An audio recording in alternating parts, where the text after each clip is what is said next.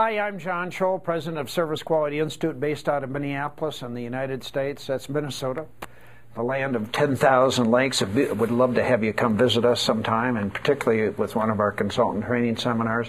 But I'd like you to uh, work with my partner Sergio Flores here in Latin America and Christina Torres, our business director, to talk about the opportunities that are available for consultants in Latin America. It's a very exciting thing. At Service Quality Institute, our business